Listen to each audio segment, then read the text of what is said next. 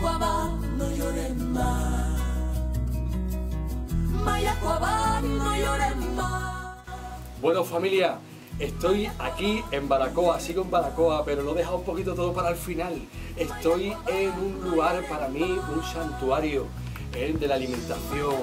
Eh, voy a hablar con una persona, vamos a conocer una persona entrañable, llena de conocimiento y para mí el- el- la gran diferencia con referencia al tratamiento eh, del producto y, su cocina es... eh, me siento muy identificado con su cocina. Ahora vamos a ver todo, no os lo perdáis. Venga, vamos, os quiero. Vamos.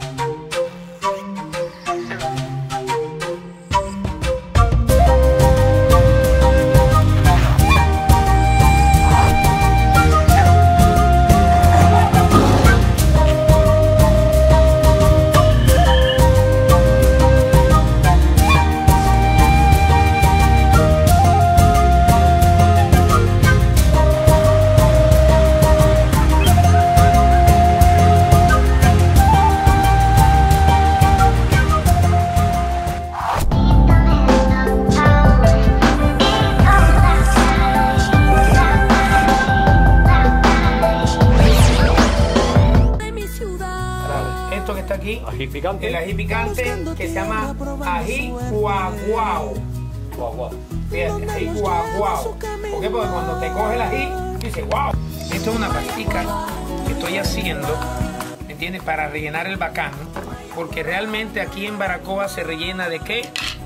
Con diferentes tipos. Lo rellenan con masa de puerco, lo rellenan con cangrejo, etc. Y yo estoy haciendo esta masita aquí, que ahora le voy a echar un poquito de este aliño que está aquí, ¿verdad?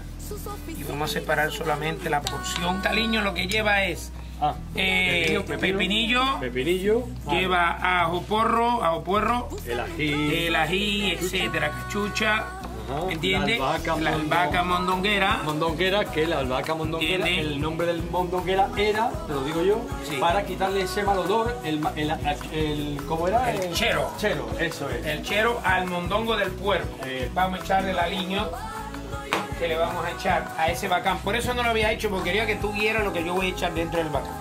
Ahora vamos a poner esto aquí, o vamos a cambiar para acá. Esto vamos a poner aquí y ahora vamos a que a tomar una porción Sí, de esto que está aquí, porque con esto te voy a hacer una hamburguesa. sí. Este aliño que está aquí. Vamos a echarle lo que es el aceite de coco, la, la manteca realmente de coco. Ve que yo no la cocino, yo la dejo que se mantenga ella ahí. Se le eché ahora y entonces voy a revolver. ¿Verdad?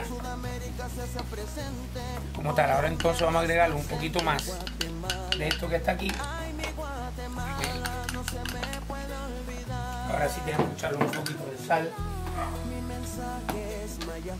Y ese que lo que lleva es nada. ¿Entiendes? Ahí está. Mira, a ver ahí.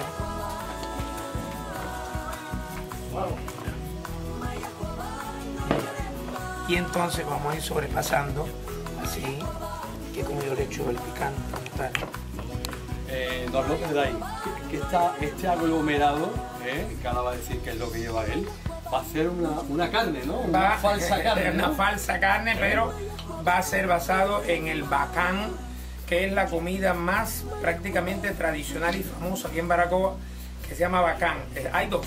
Este es el bacán, este es el guanimo. El guanimo es redondo y no lleva carne. Y el bacán es cuadrado y lleva algo dentro. Estamos hablando de. ¿Entiendes? De, de plátano, claro, estamos hablando. Pero plátano, generalmente se hace con el guineo de aquí de Baracoa.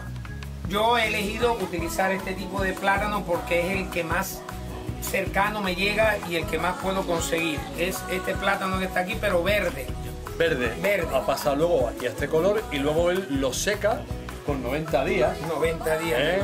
el hombre aquí, ¿eh? luchando a contracorriente. Para hacer un postre, aparte de eso, el guineo, porque me baso prácticamente en el plátano. La leche de coco, tú, no, tú no, no, no tratas de manera agresiva al coco, tú simplemente extraes, tú no la cocinas. Yo ordeño el coco. Eso es. Yo ordeño el. Para no, para no desnaturalizar la- Sus las propiedades. cualidades organolépticas y nutritivas. y nutritiva. Así mismo es. Se ve que está como, está uniforme.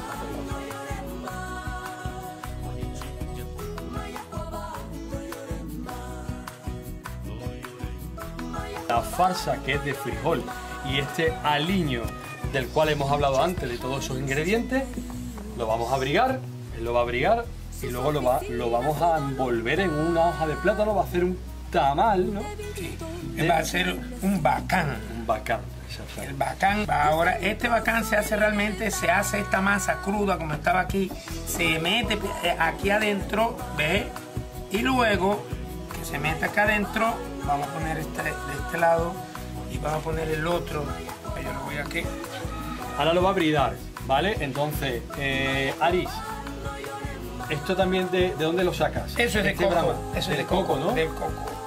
Del coco. Que yo lo hago aquí del coco. Cuando lo vayas a hacer en la, en la se usa de la, del- de la misma mata de plátano. Eh, no, estamos en Cuba, pero él es creatividad pura. Hay truco en Cuba para todo. Señores, aquí moldea, enséñaselo, La hamburguesa. la hamburguesa a su diámetro perfecto, su grosor perfecto.